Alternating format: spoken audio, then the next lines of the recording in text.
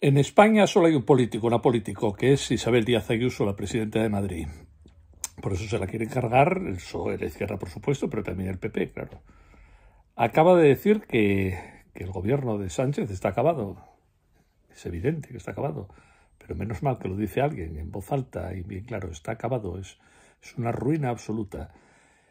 Y ha añadido que teme cómo va a abandonar el poder, porque esto es, es, muy, es muy dudoso que abandonen el poder por las buenas. Son capaces de lo que sea. ¿eh? Están agarrados a la poltrona, ahí hay millones, prebendas, chollos, poder, fin. Así que, insisto, Ayuso es la única política que hay en España.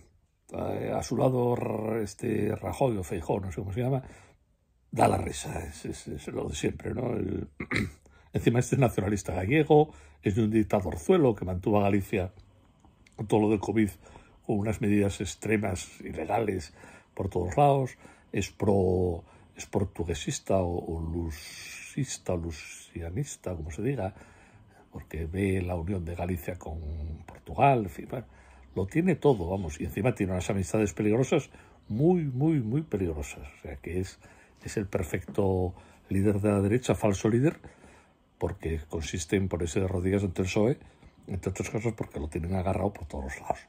Así que insisto, solo Isabel Díaz Ayuso es la, la, única política que hay en España, porque a la izquierda no hay nada. Este Pedro Sánchez es pues, un sátrapa, ¿no?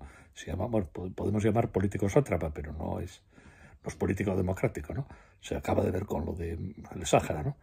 La única política que hay en España, la única líder, la única persona con futuro, con con futuro no es para ella, para España es Isabel Díaz Ayuso.